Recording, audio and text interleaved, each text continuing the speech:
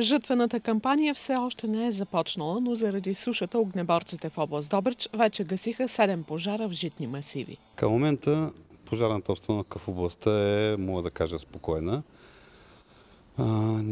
Въпреки, че имаме доста происшествия, най-притеснителното е, че още преди започване на прибирането на реколтата, вече имаме 7 пожара в житни масиви. Унищожена е реколтата от около 200 декара пшенични посеви. Най-големи ни пожари са около 100 декара, другите са значително по-малки, най-малкият ни пожари са с 3 декара. Но пак казвам, притеснителното е това, че все още не е започнало прибирането на реколтата и пожарите не са предизвикани от селскостопанска техника, която е навлязла вече, а са предизвикани от човешка небрежност.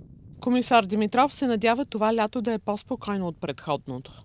Толкова много бяха пожари, че имаше един от условия всичките на автомобили в цялата област бяха ангажирани с гасени на пожари в сухи а, треви, в стърнища и в горски масиви. И в един момент а, си помислих, че ако наистина в някой дом, жилище, не дай се Боже, в някой хотел стане някакво происшествие, там където ще има пряко застрашени хора, ние ще се забавим с реакцията. Цялото интервю с директора на пожарната гледайте в рубриката ни Новини Плюс.